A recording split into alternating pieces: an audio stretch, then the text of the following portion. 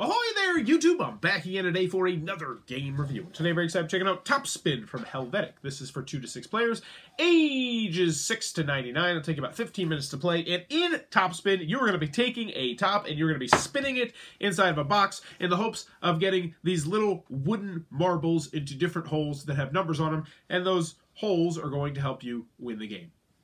It's a very light, very simple game about spinning a top in a box.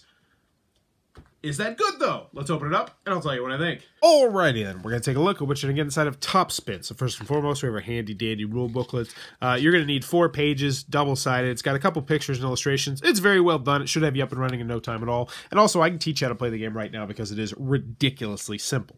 So in Top Spin, you are going to be taking this top inside of this box insert, and your goal is to try to get the little balls into the circles that have the numbers around the outside. You're to do that for one of two different ways because there are two different ways to play the game. There's the battle mode and the challenge mode. Here's your handy dandy player pad. It is one-sided, which annoys me, but man, look at all those spaces. So I can forgive it for just how many spaces there are in this game. So tons and tons of play there. So let's talk about the two different game modes. First, we have the battle mode. So in battle mode, you're going to have as many players as you want. It says up to six, but honestly, you could play this with a 100 players. You really could. It just take a while. First person is going to go. They're going to spin the top, and their goal is to try to get the balls into the little things. And unfortunately for this person, they got zero. But let's pretend that they got one. So in this particular instance, they would have four. To help you with scoring, if they also had this, they would have seven points. Now they would have 13 points. Now they would have 25 points. So as you can see, the number of uh, balls you get in the circles, you just add that up, and that's how many points you got. So let's pretend for this example, they ended up with four points. Now the next person is going to go, and they have to either reach four or beat four in order to not lose a life. So let's see what they got. Come on. Come on, come on, come on, come on. Oh, we got a six. We're money. Oh, 14, baby. So we got a 14, which means now that person has 14. And the next person is going to have to beat 14. Let's see. They got a four. That's a good start. We got the, oh, so we got a 10. We got, oh yeah, we got a 16. Wow, 24. That's great. So we got 24, which means the next person would have to beat 24. Now you might be wondering, well, what happens if I only would have got 14? Well, if you got 14, you have to meet the number of the person in front of you or exceed. So as long as you don't get less than the person in front of you, then you don't lose a life. So now this person's really shaking in their boots. They have to get 24. Probably not going to do it, but let's see. Give it the old college try, and sure enough, they get 12, which is admirable, but not going to do it. So what would happen is you would look at the person who just spun, they would mark out a heart and lose a life, and then they go next to restart the round. So you're never going to lose two in a row. Well, you're never going to lose two in a row quickly like that. That'd be a very poor start, which means the next person has no pressure on them whatsoever. Anywho, this is a player elimination game where you're going to go until someone, uh, until everyone has been eliminated. Only one person is left. The one person that is left is the winner of the battle mode. Now let's talk about the challenge mode, which has all the numbers.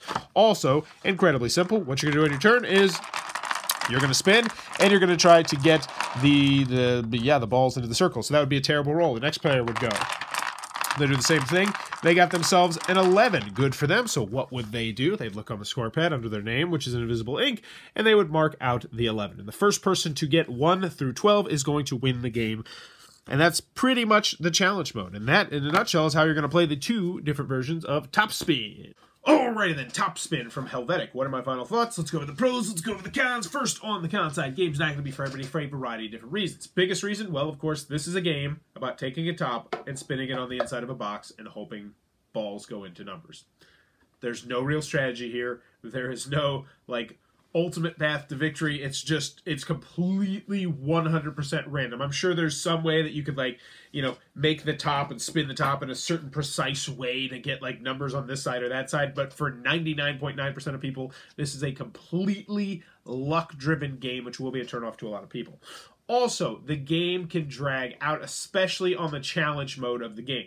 The battle mode doesn't really drag out that much, but it does have player elimination, which will bug some people. But the game's so quick that I didn't mind the player elimination. But the challenge mode will inevitably turn out to, oh, you need a 4, you need a 7, you need an 8. Let's just spin spin, no four, spin, no seven, spin, no eight, spin, no four, spin, no seven, spin, no eight, spin, no four, spin, no seven, spin. And it just kind of drags out longer than you might want it to be. But once again, it wasn't that big of a deal because the game is so short. It's such a super short game. Um, so there you go. It, I mean, there's not really too many cons that I can tell you about this game. The basic premise of the game is spinning a top in a box. It feels like a game that could have been designed by a seven year old. So that that kind of just covers most of the cons that I have with the game.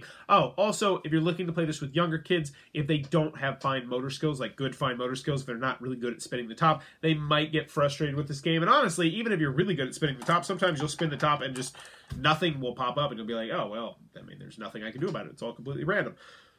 Moving on to the pros, though, uh, I had fun with Topspin. I really did. I had fun in the class with Topspin. I had fun with some very skeptical adults who I played Topspin with on my game night, uh, and, and we enjoyed the game. And it is a fun, light, simple game. Super easy to learn, super easy to teach. The middle part of the video is three minutes, and that's me teaching you how to play both versions of the game. And I doubt you're going to have any questions after the, the middle part. This is one of those games that you can have out, you can teach in a minute, and you can play it in five to ten minutes, especially if you're playing the duel mode. Uh, also, with the duel mode, one thing that I really like is it says two to six players, but honestly, with the duel mode, you could play I think like 15, 20, 30, 35 players as long as you don't mind the downtime between turns. Uh, There's no reason why you could not play this with more players. We did. We played a 12 player version of this with the kids in my class, and a lot of fun was had, and it was uh, it was really enjoyable.